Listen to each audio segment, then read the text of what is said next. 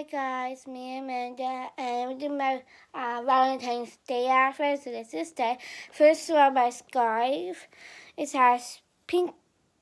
Um, um has uh, pink all over. It have a red heart, and um, it has some um white layers. So always super pretty for Valentine's. My Valentine's scarf, and then covered with my scarf. I wearing this sunglasses pattern shirt that I got from Old Navy.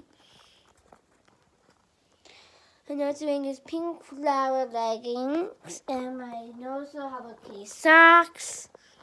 My glasses from Max, my hair just combed. And my Valentine's Day um, nails. And yeah, and my uh, two uh, my bracelet and my hair tie and my Apple Watch, and hope you guys enjoy it and and just grab it. For, um, don't for liking and subscribe to more. And I was like, mwah.